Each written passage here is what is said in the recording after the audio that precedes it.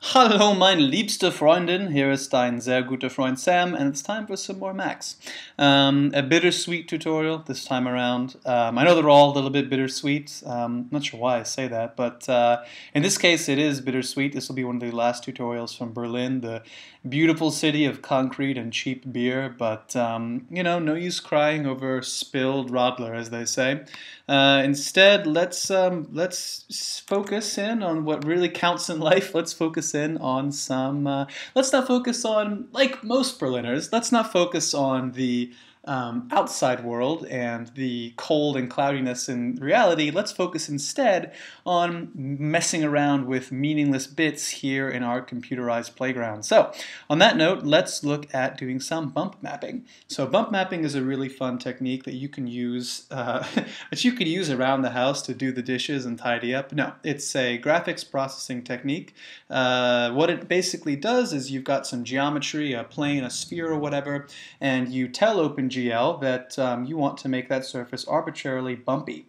And um, you do that by providing a number of vectors, these are surface normals, that tell OpenGL how to reflect light off a given point on your surface. And OpenGL then uses that to um, change the kind of the appearance of the bumpiness of the surface of your object. So I can show you kind of what that will look like ultimately. Here is a nice bumpy surface that I've made. Um, you can see it's just some soft noise that I'm kind of scrubbing through. But then if we play a little music in iTunes, you will see how the graphics here are affected um, I'm just piping in the audio and then measuring its amplitude and using that to adjust the some parameters of this noise. And in Max, that looks like this.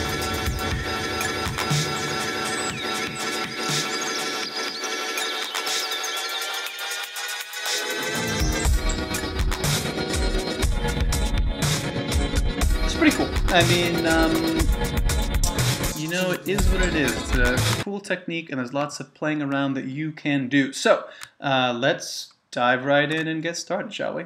Uh, the basic idea is we're going to make a, a, noisy matrix and then calculate the surface normals using jit.gl.pix. So you will need max6 and you will need gen in order for, to, to, to do this. You can do it without jit and gen, um, but it's going to be much easier if you do. So let's start with the boilerplate OpenGL stuff. Um, highly recommend you use the Max Toolbox to accelerate your patching. Max Toolbox, take your patching to the next level um, or something like that. Uh, in any case, let's make a uh, key object to get our key presses, sel 27 to select for the escape key, a toggle, a message box, full screen, full screen dollar sign one, and a jit dot window. Fantastic. And let's put that down here. Uh, throw in a, a toggle, a Q Metro 33, uh, trigger bang bang erase, jit jit.gl.render. Uh, that looks good, and I send pre-render. So this is obviously just going to be uh, sending out bangs uh, 30 times a second. And then we're going to send each of those bangs to this JitGL render that tells it first to erase and then to render. Um, so there's our OpenGL stuff all set up. And if I turn this on, our window turns slightly gray. Escape makes us go full screen. We are cooking with thermonuclear gas or something.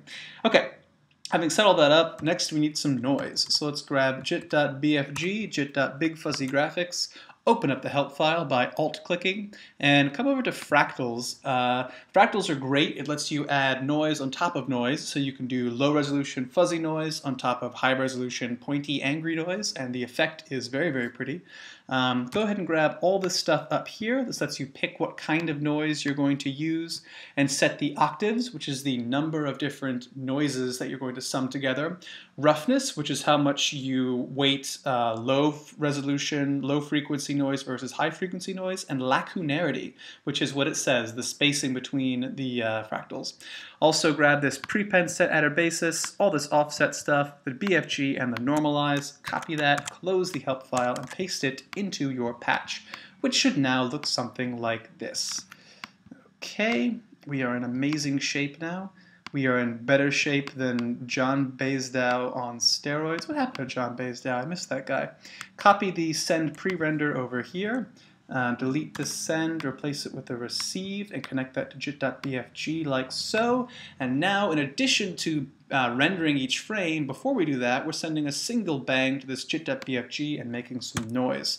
Also throw in a jit.matrix here uh, that says 1 float 32, 256, 256. The reason we're doing this is jit.bfg outputs a three-dimensional matrix that is 256 by 256 by 1.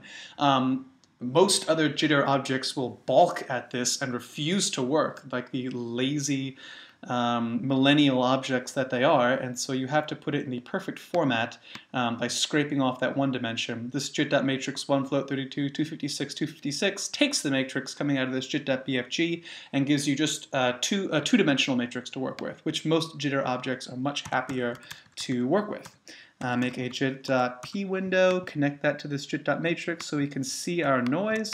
We can't see it because we haven't set any parameters yet, but if I'm going to go with fractal hetero, uh, noise simplex, set the number of octaves to, I don't know, 3, the roughness to 0.5, the lacunarity to 2, and here's kind of uh, some noise. Not that exciting yet, but it will get more exciting, I promise. Um, That's what he said. So we can now uh, actually do the fun part of this, which is calculating the surface normals. So to calculate surface normals, what we're going to do is use the cross product. Cross product might not scare you, but it scares me. And so uh, to reassure myself about um, the stability of the universe and the ease of working with the cross product, I hold up my right hand, I point my index finger at the screen, my thumb up towards the towards the heavens, and my uh, uh, middle finger I point to the left out towards the um, Spätkauf where I buy my beer just up the street. So pointing at the screen with my index finger, at beer with my ring finger, and up at the sky with my um, thumb, and what I've done here is created the corner of a box. And if my pointer finger and middle finger were two vectors, then my thumb would be the cross product of those two vectors. And so maybe you can see where we're going with this. We're going to calculate the thumb, the surface normal, pointing up out of this noise by taking how fast the noise is changing in the x direction, how fast it's changing in the y direction, turning those into two vectors, and then taking their cross product. Sounds as easy as it is. Uh, go ahead and make a jit.gl.pix.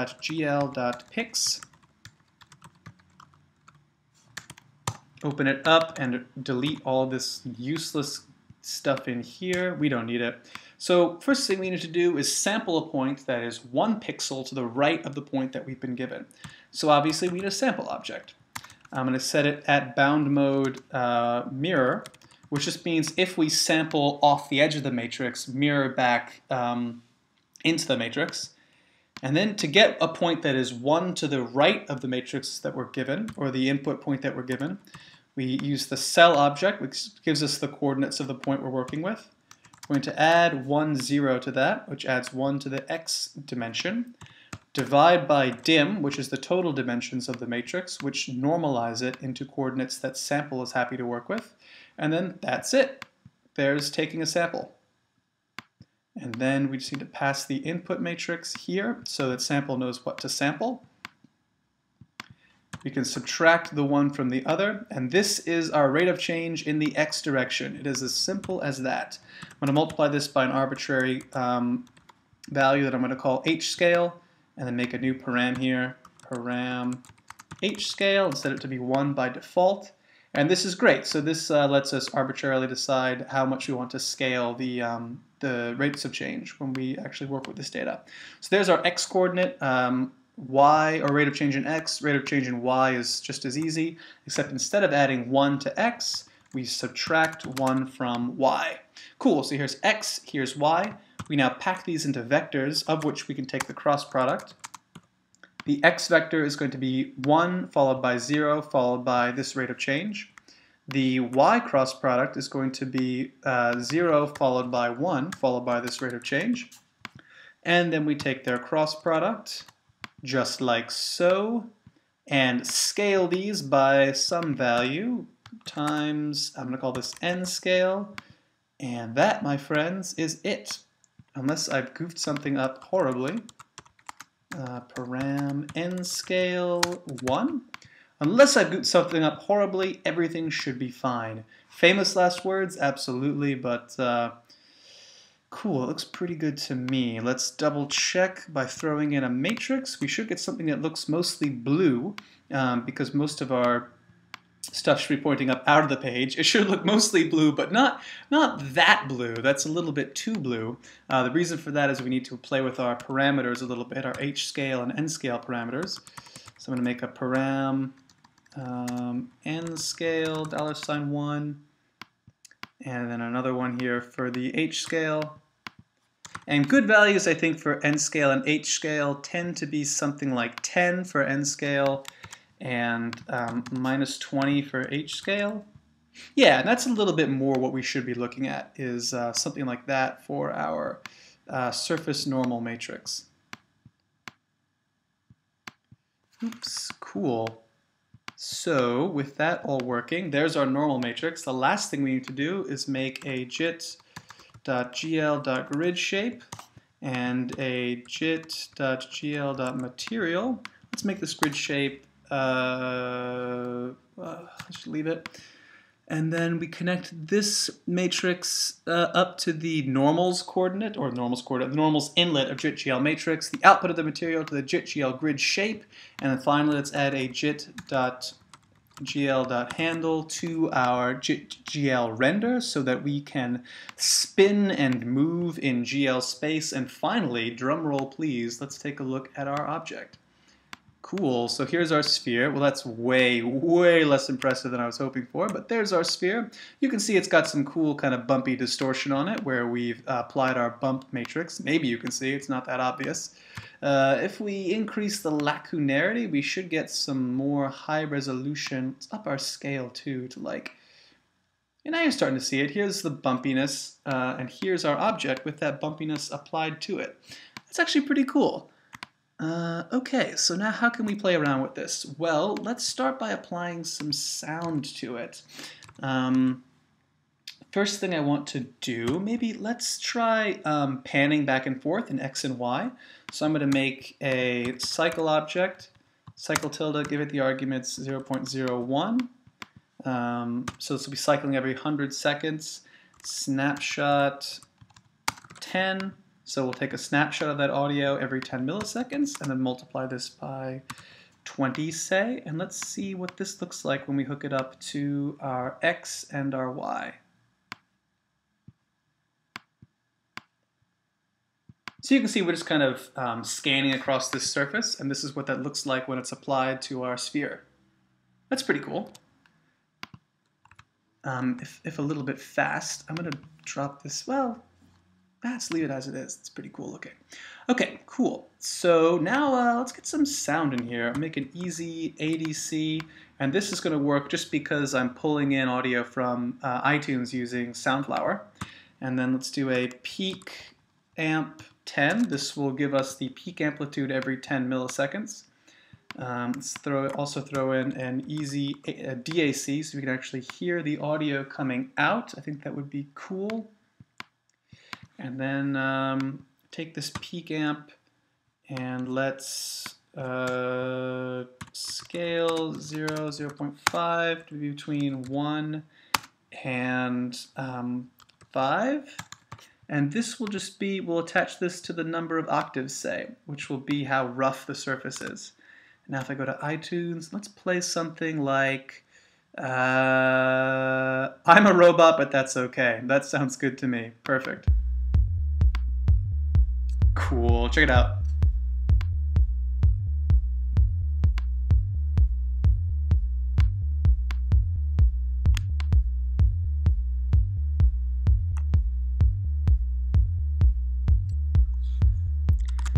Could also, oops, could also add maybe a little smoothing to this. Um, we could throw in a line object.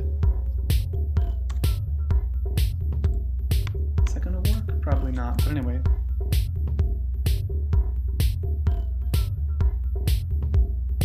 That's kind of cool. I like that. Let's uh, make the cycle cycle a little bit more slowly, maybe every 10 seconds or so. It ended up being much faster.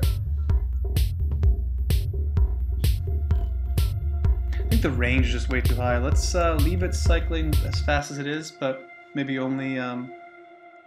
Oh, it's cool.